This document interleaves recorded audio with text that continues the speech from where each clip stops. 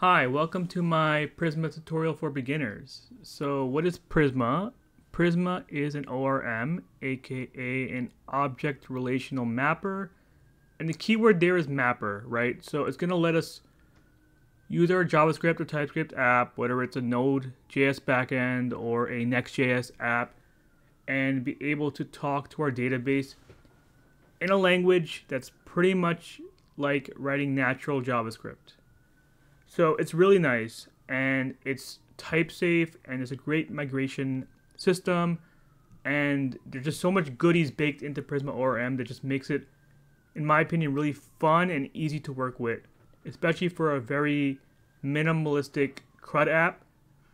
But you can, we can do so much more, right? So let's quickly look at an example here under documentation.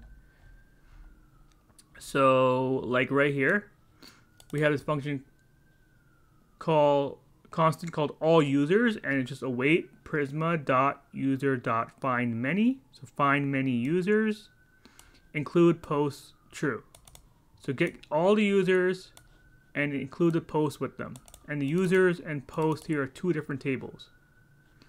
If I wanted to write raw SQL to replicate this I would have to write something like this.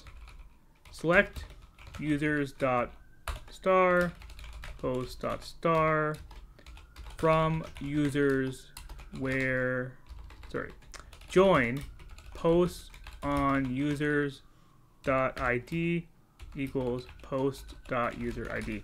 Now this isn't too bad, but if you're using like a native, like a Postgres driver, you don't have the type safety by default. So, and this can become more verbose depending on how more complicated your queries get although SQL is still pretty important to learn, so I would recommend having some kind of foundational knowledge of SQL before jumping into an ORM like Prisma. So you can appreciate what Prisma does for you behind the scenes. Anyways, so we're going to learn lots of things in this tutorial. We're going to learn how to do basic CRUD operations with Prisma, create, read, update, and delete.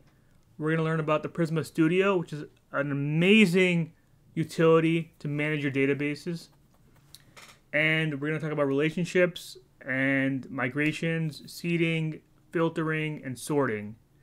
And we're going to cover all that in these next couple of videos. So if any of that interests you and you want to get started from, with Prisma from scratch, again, I want to emphasize this is a beginner tutorial. Then stay tuned. Um, so we're going to go through all of that bit by bit. And one cool thing I want to point out about Prisma is that it covers not only SQL databases like SQLite, MySQL, and Postgres, but it also works with MongoDB, which I think is really, really cool.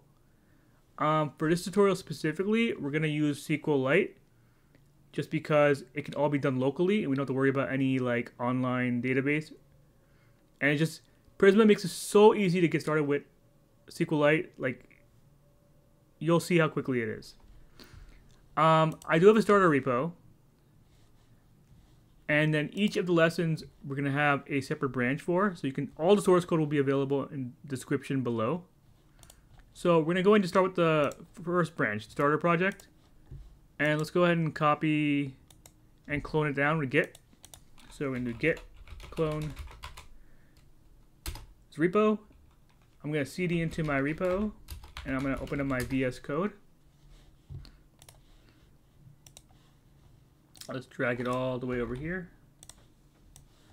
Okay, let's quickly walk through what we have here. I made it as minimalistic as possible to not confuse anybody. So all we have is a TypeScript config file, a README that just tells you how to clone this and set everything up. We can follow the instructions, right? Once downloaded, navigate to the project directory in a terminal and run npm install. So we can do that in just about a second. And then we can run npm run dev to run our app.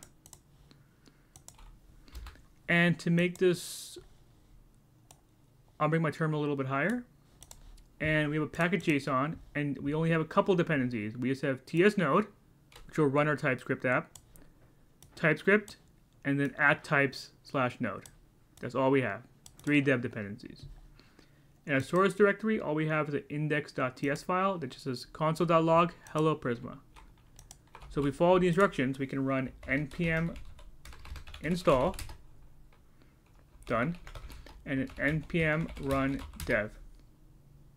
There we go, and we get hello Prisma. So once you have the repo all set up, uh, you can head over to the next video.